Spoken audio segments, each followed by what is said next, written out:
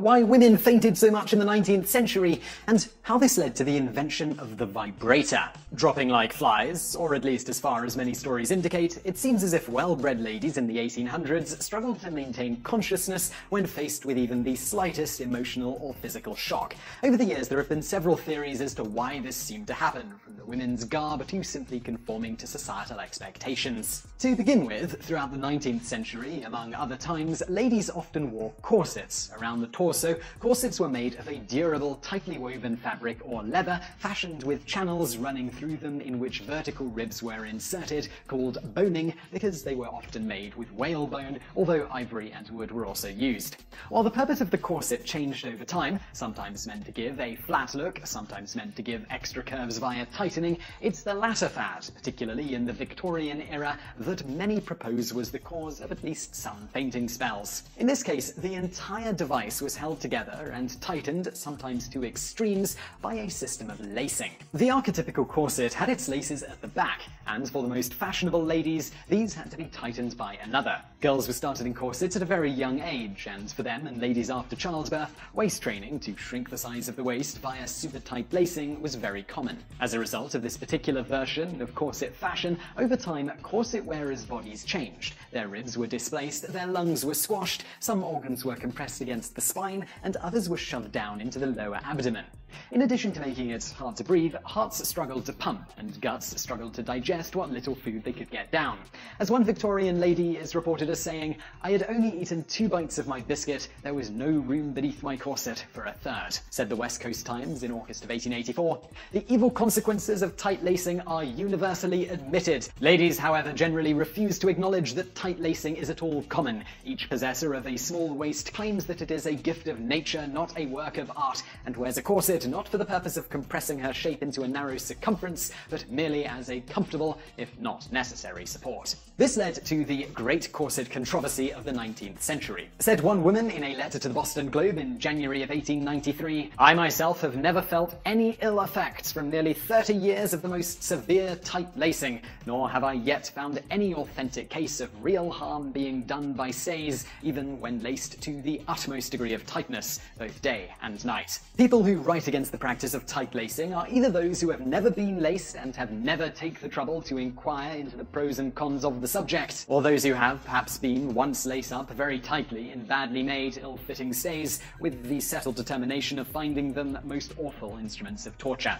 Those who have been systematically laced up in proper stays from their childhood are the only ones who are capable of forming a right judgment on this subject, and I hope you will allow tight laces the opportunity of defending themselves against the enemies of trim little waist. On the other side of the argument, in an article titled The Slaves of Fashion, published in the Chicago Tribune in September of 1891, it was noted, It is difficult to imagine a slavery more senseless, cruel, or far-reaching in its injurious consequences than that imposed by fashion on civilized womanhood during the last generation. The tight lacing required by the wasp waist has produced generations of invalids and bequeathed to posterity suffering that will not vanish for many decades. And in order to look stylish, thousands of women wear dress waist so tight that no free movement of the upper body is possible. Indeed, in numbers of instances, ladies are compelled to put their bonnets on before attempting the painful ordeal of getting into glove-fitting dress waists. Whatever side of the tight-laced argument a particular woman was on, whether by their suboptimal blood pressure,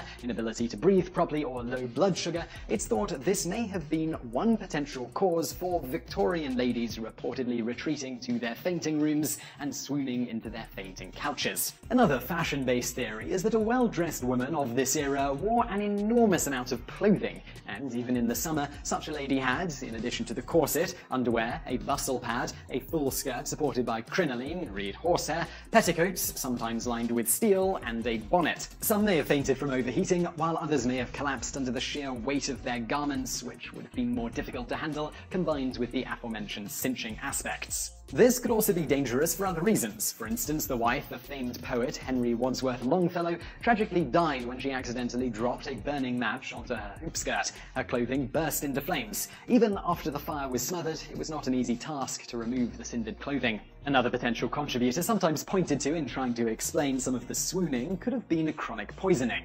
During the 19th century, while people knew that arsenic was poisonous, they didn't seem to know or care that environmental exposure from its fumes could have a deleterious effect. As such, and given its utility in certain applications, it was widely used in the manufacture of everything from fabrics to paints to the paper in which food was wrapped. In fact, by the end of the 1800s, 80% of wallpaper was arsenic laced. Arsenic poisoning has a variety of symptoms, including headaches, cold sweats, and fainting. There was an 1880 report of a woman who had fainting fits almost daily until she was moved to another room in her home that wasn't furnished with arsenic-tainted wallpaper, where she recovered a few weeks later.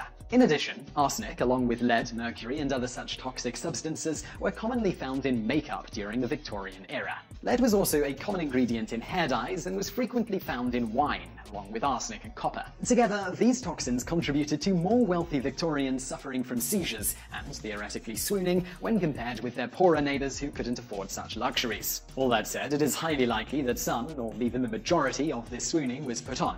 You see, besides potential side effects from the fad of extreme tight lacing of corsets or other things, for a time, swooning at the least hint of shock also became expected and downright ladylike. This also made it a great literary device in stories. Women, particularly of high station, were expected to act the role of a delicate flower, while men were expected to be hard as nails. The swooning was simply one method of a woman showing her delicate nature in the form of an extreme emotional reaction to a particular event. Today, simply gasping might be the best social cue equivalent. Similarly, people rarely laugh when by themselves, even when they find something incredibly humorous. In fact, contrary to popular belief, most laughter is not associated with humor, but rather stems from non-humor related social interactions. This was noted in a study covering over 2,000 cases of naturally occurring laughter, almost none of which stemmed from jokes or other such humor devices. Most cases were simply short ha-has during otherwise normal conversations. These short laughs almost never interrupted speech, but rather occurred during breaks, providing social cues to those around.